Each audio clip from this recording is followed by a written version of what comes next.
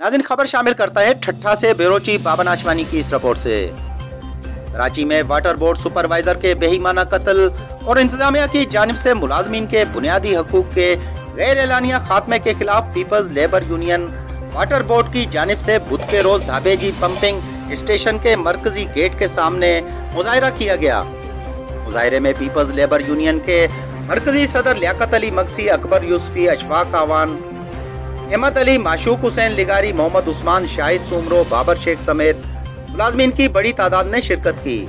मुजाहरीन ने मुख्तलिफ़ play card और बैनर उठा रखे थे। मौके पर शदीद नारेबाजी की गई। मुजाहरे के खिताब करते हुए सदर लियाकत अली मक्सी और दीगर का कहना था कि गुजशत रोज कराची में पानी के गैर कानूनी कनेक्शन और हाइड्रेंट की निशानदही करने वाले वाटर बोर्ड के सुपरवाइजर फुरकान अख्तर को टारगेट किलिंग करके कत्ल कर दिया गया। जिसकी हम पुरजोर अंदाज में मजम्मत करते हैं और मुतालबा करते हैं कि कातिलों को फिलफोर गिरफ़्तार करके सख्त अंजाम तक पहुँचाया जाए। उनका कहना था कि वाटर बोर्ड में सीईओ के तैनाती के बाद से मुलाजमीन के लिए शोबा फाइनेंस और मेडिकल सहूलियात का गैर एलानिया खात्मा कर दिया गया है।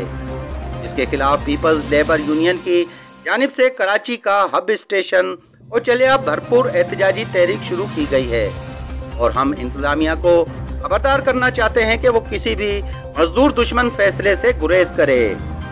रिपोर्ट बाबन आशवानी, आधार न्यूज़ कट्ठा मजीद खबरों और अपडेट के लिए देखते रहें आधार न्यूज़।